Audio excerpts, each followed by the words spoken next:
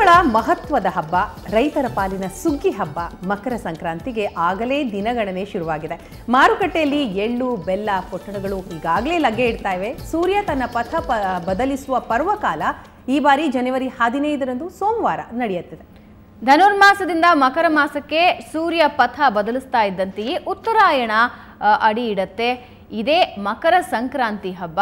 ಇನ್ನು ಪ್ರತಿ ವರ್ಷ ಜನವರಿ ಹದಿನಾಲ್ಕರಂದು ಬರುವ ಸಂಕ್ರಾಂತಿ ಹಬ್ಬ ಈ ಬಾರಿ ಮಾತ್ರ ಜನವರಿ ಹದಿನೈದಕ್ಕೆ ಬಂದಿದೆ. ಹೀಗಾಗಿ ಸಹಜವಾಗಿಯೇ ಜನರಲ್ಲಿ ದ್ವಂದ್ವ ನಿಲುವು ತಾಳಿದೆ. ಕೆಲವರು ಹದಿನಾಲ್ಕಕ್ಕೆ ಸಂಕ್ರಾಂತಿ ಅಂದ್ರೆ ಇನ್ನು ಕೆಲವರು ಹದಿನೈದಕ್ಕೆ ನಿಜವಾದ ಸಂಕ್ರಾಂತಿ ಅಂತಿದ್ದಾರೆ.